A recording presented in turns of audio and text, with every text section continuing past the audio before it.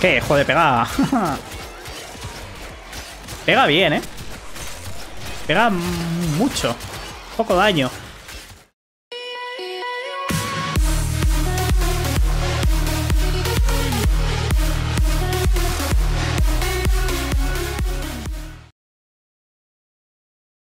Ya lo que pega la, Lucky Brunt, ¿eh?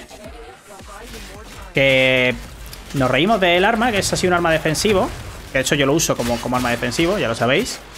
Eh, aquí no hay, no, hay aliados, ¿no? No hay nadie que, se meta ya casi en, camino a cero.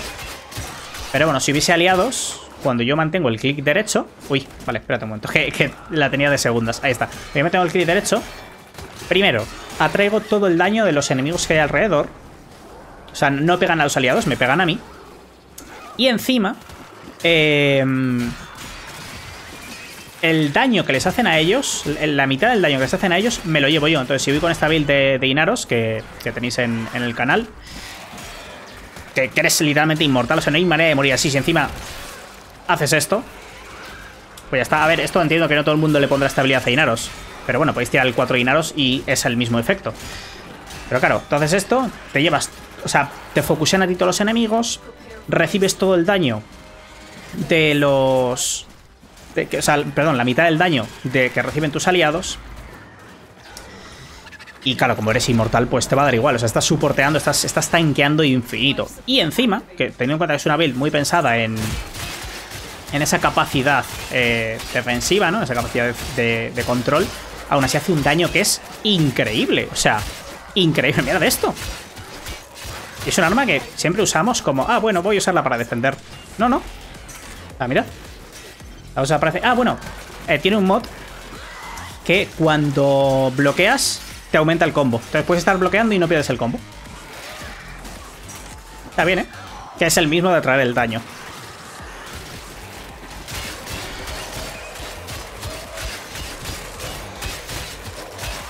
¿Qué? Joder, pega.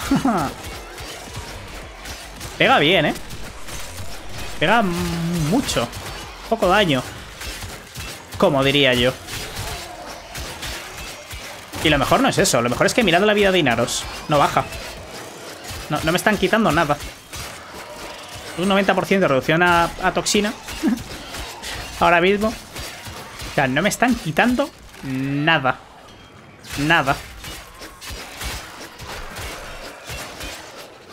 Repito. Tenéis la build en el canal.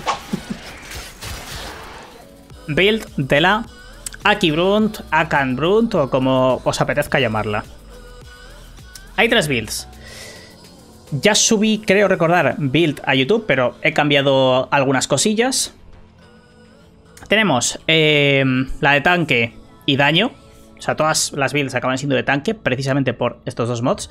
Este mod está muy bien para, sobre todo cuando queremos recuperarnos energía, tenemos el mod de ira en el Warframe o tenemos el mod de adrenalina del cazador, nos viene muy bien porque vamos a traer todo el daño que hagan a nuestros aliados, o sea, perdón, todo el daño en un área de 15 metros, en lugar de hacer solo a nuestros aliados, nos, lo van a hacer todo a mí.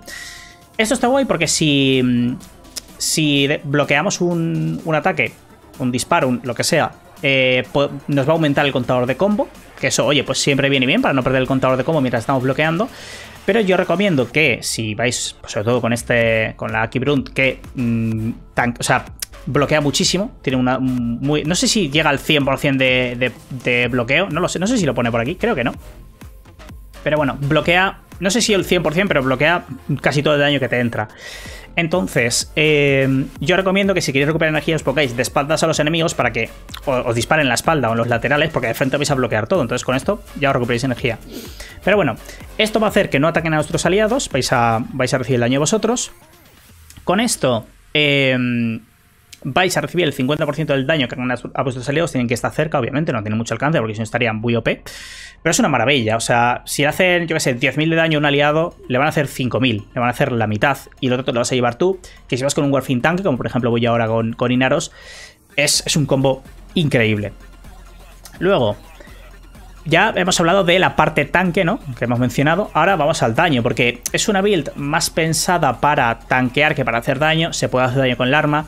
Hasta niveles 80-100 mm, va bien. Para Camino de Acero eh, no la recomiendo, solamente para, la recomiendo para tanquear. Podéis hacer daño, pero va a costar mucho. Eh, punto de presión Prime, bueno, para hacer daño. Furia Prime para pegar más rápido. Aquí podéis cambiar Furia Prime por, por Berserker si queréis, porque eh, Berserker va a dar más. Ya que Furia Prime da 55 cuando... O sea, siempre te da 55. Berserker te va a dar 75 cuando lo actives. Entonces al final vas a tener más velocidad. Aquí te pone que menos, obviamente, porque no está activo pero el 75 se va a notar bastante más. O sea que si preferís tener esto en lugar de eh, Furia Prime, se lo podéis poner. Yo se lo pongo porque tiene un 20% de probabilidad crítica. Es probabilidad crítica, pero como es un arma en el que estás, bloqueas un rato, pegas, bloqueas, pegas. Pues claro, mm, hay veces que puedes perder el Berserker y oye, con un 20% de probabilidad se puede recuperar bastante rápido, pero mm, a mí, personalmente, en esta build, pues oye, me interesa Furia Prime. Que lo podéis cambiar perfectamente, ¿eh? O sea, yo, de hecho, a lo mejor incluso ahora lo cambio y lo pruebo, a ver qué tal, pero vamos a ganar más velocidad, pero hay que cargarlo, es la única pequeña desventaja. Alcance Prime. Eh, va a ayudarnos sobre todo a tener más alcance en los, en los ataques a melee y a pegar en más área. Mm, esto se lo pongo sobre todo porque es un arma que eh, tiene muy poquito alcance, entonces le va a venir bien para pegar más lejos y por lo tanto hacer más daño, porque cuanto más enemigos pegamos, más daño vamos a hacer. Eh, golpe podrido, menos velocidad de ataque, pero eh, el doble de daño, 100% más de daño. Con estos dos mods tenemos el maravilloso estado de corrosivo 1386, que ya digo, podéis cambiarlo si queréis. Esto yo recomendaría, de hecho, cambiarlo en función de los enemigos a los que vayáis, ya que es un arma que Depende mucho de ese estado que vas a hacer al enemigo para bajar la armadura o yo que sé, o para eh, atacar directamente la salud, ¿no? Si, vamos con gas o con, o con toxina a unos corpus, porque es un arma que no hace mucho daño, entonces sí que dependemos. Si vamos a ir ya en game, a camino de tal, sí que dependemos de cambiar los mods en función de lo que, a que el enemigo por el que vayamos sea más débil. Eh, hay una duda que tengo, que mm, en la wiki creo que no pone nada. No sé si alcance Prime eh, aumenta el alcance de estos 15 metros y estos 12 metros. No lo sé. Sí que alguna vez he notado, igual ha sido un bug, que ha llegado incluso a 30 metros. Pero claro, esto hace más 3, no, no más 3, o sea, no, ¿sabéis? No más, no más 18. Entonces, eh, igual sí lo, lo, amplía, igual no, no lo sé seguro. La verdad, no me he puesto a hacer pruebas y en la wiki creo que no pone nada. Bueno, la siguiente build, esta está, está interesante también por el tema de acometida de sangre, porque aquí no lo tenemos. Aquí sí, y como con esto aumentamos el, multiplicador de combo, podemos estar un rato así eh, defendiendo, y cuando tenemos el combo al máximo, en el 220, en el por 12 de, combo, quitamos el escudo y reventamos. Está muy bien. Aquí sí que, si os dais cuenta, sí que tengo Berserker, porque hace muy buen combo con acometida de sangre, ya que vamos a tener cada vez más probabilidad crítica.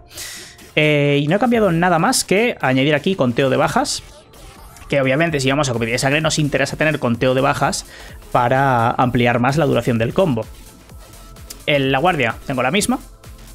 Y luego la última, que sería eh, una, una, mezcla, ¿no? Porque esta es basada en el, en el crítico y esta es con crítico menos combo. Porque aquí parece que es un crítico combo, pero no, es crítico menos combos. Aquí tenemos, nos basamos más aún en el daño crítico por combo, pero no tenemos duración de combo. Aquí lo que sí que he puesto ha sido eh, Berserker y Furia Prime, tengo los dos de velocidad, para aumentar, eh, o sea, para, para, que sea mucho más rápido el conseguir ese combo, ya que no tenemos la duración de combo, vamos a conseguirlo mucho más rápido. ¿Por qué? Porque, bueno, aquí tenemos eh, mods que ya hemos visto antes, este también. Aquí el que no tenemos es el de provocación, pero tenemos eh, fuerza del gladiador, 60% de daño crítico, hacemos más daño con el crítico. Aquí tenemos más velocidad de ataque aún. Y encima, con el combo que nos dan los de gladiador, tenemos 30% eh, de... O sea, lo que nos da cometida de sangre, que nos da un 60% de probabilidad crítica acumulada con el combo, pues esto te da un 30% más. O sea que está guay. Ahora bien, y ahora decís, vale, pero es que a mí, ya que has puesto esto de aquí y se va a acumular mucho con el combo, a mí me interesa tener combo. Vale, pues no pasa nada. Haces así, haces así y haces... Provocación. Pum, y ya está. Sí, eh, perdón, joder, qué tonto soy. Provocación es la otra opción que quería decir, pero no era la que quería decir ahora. eh, conteo de bajas o, si queréis más estado, eh, podéis poner... ¿Dónde está? Eh, de la deriva, aquí estás. Podéis poner esto, tenéis un poquito más de estado. Que, no, que en esos 10 segundos queréis 12 segundos porque no queréis ese 40% de estado. La verdad es que, oye, prefiero contacto a la deriva, pero cada uno tiene sus gustos, ¿no? Podéis poner esto. podéis poner esto. O, como estaba poniendo antes, podéis poner provocación del guardián si queréis también eh, atraer ese daño. Pero bueno, esto podéis hacer todos los cambios que queráis. Yo recomendaría esto porque tenéis más probabilidad de estado, 10 segundos de combo, así que haría mucho combo con acometida de sangre y, estos dos, porque esto nos van a dar 30% y este es 60, así que al final es mucho más. Y con esto vamos a tener mucho, mucha versatilidad en cuanto al combo. Ya digo, eh, si pensáis más en pegar, o sea, que no vais a estar todo el rato a melee para necesitar acumular ese combo, o sea, si no sois, si vais full a melee, ir con esto, ¿vale? Ir tal cual está ahora. Si no soléis ir todo el rato a melee, hacéis esto y ponéis esto. ¿Por qué?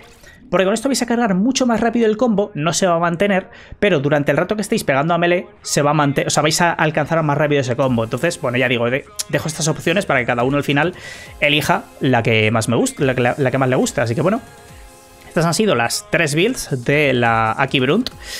Que se me olvidó mencionar que eh, voy a hacer builds, esto, bueno, hay gente que lo sabe, hay gente que no, voy a hacer builds de todas y cada una de las melees del juego, voy a empezar por las melees, luego haré otra encuesta en Twitter, como, como ya hice, para que eh, elijáis si preferís las primarias o las secundarias, pero bueno, de momento vamos a empezar con todas las melees del juego, voy a hacer builds, así que por eso he empezado con la eh, Aki Brunt, que le he hecho un, mini rework a la build que ya le, que ya le tenía. Y esta es la primera por orden alfabético, así que ya iremos, iremos continuando con las demás para... Mm, para tener todas y cada una de las armas de Warfin buildeadas, que no sé, es un reto que me he puesto este año, me apetece, y es lo que voy a hacer. Así que nada, hasta aquí la build de, la Aki Brunt.